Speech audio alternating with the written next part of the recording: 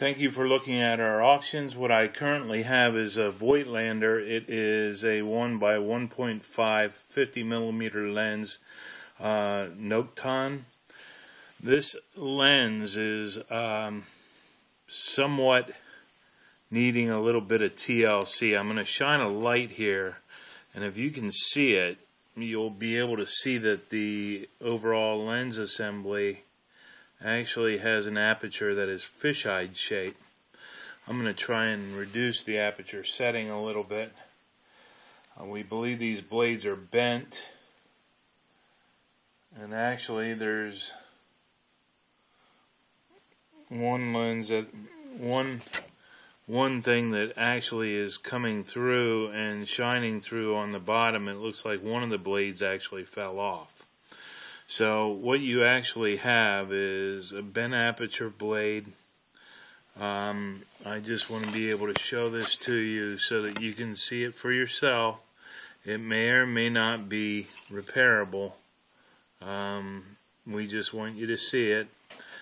Once again, the aperture blade is bent. As you can see, that blade is not perfectly round. Um, we just want to be totally honest with you from the start on this. Um, it may or may not be able to be repaired.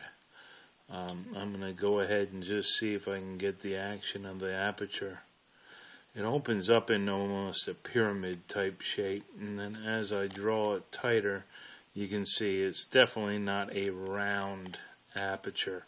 They're actually, you can see at the bottom of that lens right now, about where I have my finger pointing, um, is a piece that looks to be the blade of the actual lens.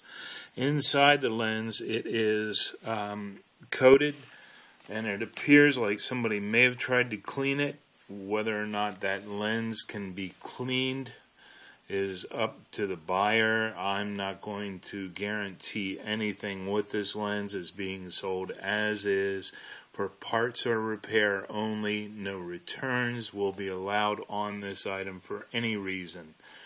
Um, if you have any questions, please ask before bidding. I think uh, we're more than plain in our language both on the auction listing as well as uh, here that this item is for parts and repair only. We will not accept returns for any reason.